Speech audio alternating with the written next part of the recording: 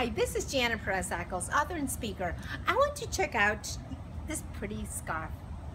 I love this scarf, not because of how it was made or because it goes perfectly with my skirt, but you know, this scarf is so special to me because of who gave it to me. One of my favorite friends in my whole life gave it to me. We've been friends since we were 19 years old. Sometimes it's not the item that makes it special, but it's who gave it to you. It's the same thing with hope. Did you know that? King David was well known for his mighty strength and his abilities as a warrior, but he went through a really tough time in his life. He committed murder, he lied, he cheated, and I guess one of those nights he just sat down, felt a little sorry for himself, and he said, Why are you so downcast, my soul? Why so disturbed within me? Put your hope in God, he said. And that's exactly what David did.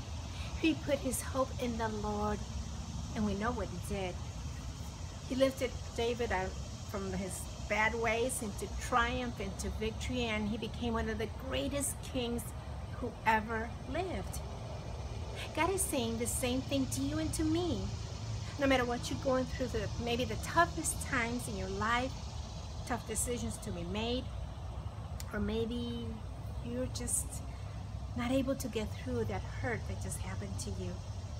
God is saying to you, put your hope in me. He's trustworthy and he will lift you up to victory. He will bring you triumph and he will bring the answers. But first we have to speak out and say, Lord, I'm putting my hope in you.